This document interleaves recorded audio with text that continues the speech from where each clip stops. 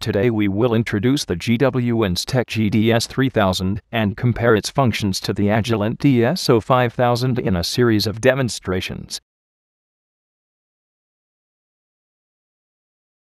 Connect a burst waveform to channel 1 on each of the two devices and turn channel 1 on for both devices.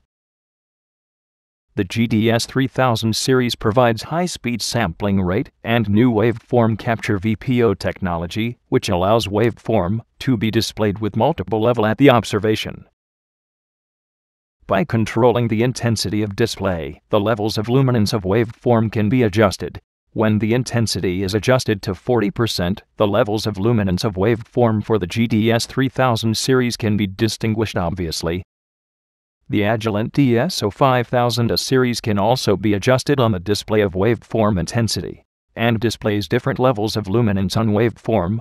In viewing the point above, the performance on waveform display technology of the GDS 3000 is comparable to the DSO 5000A. In addition, when waveform is set to color, it is clear that the waveform is displayed in different colors. Red represents data that appears more often and Blue represents data that appears less often in a single window.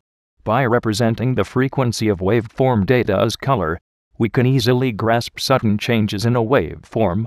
To observe infrequent waveform events and video waveforms, which is changing rapidly.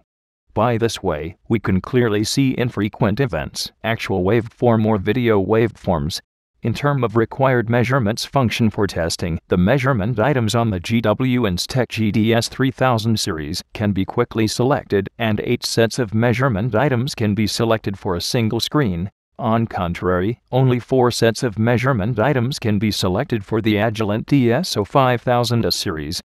Besides when measuring, getting measurement range can be selected, or select only test data on the screen, or between the cursor, and display all test items selected for the GDS 3000 series. These advantages are not provided by DSO 5000A,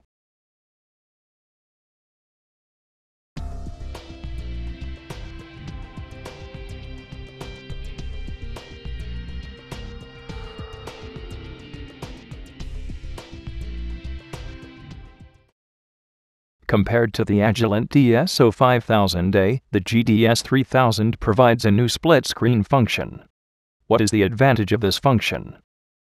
The waveform signals may be overlap on the screen when we want to observe signals in multi-channels at the same time.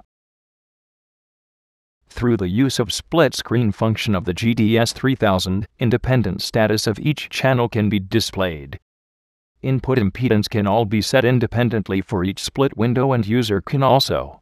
User can also add independent measurement items. These advantages above are not provided by DSO 5000A,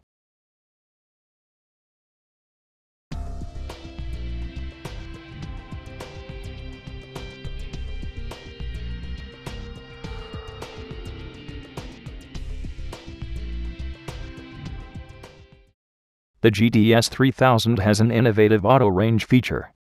When auto range is enabled, the waveform display will be automatically adjusted to fit the display on the screen in measuring the different signals.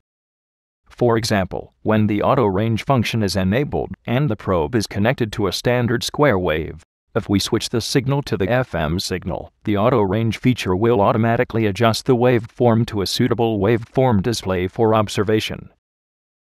If we connect back to a square waveform, the waveform will be automatically adjusted to optimal output.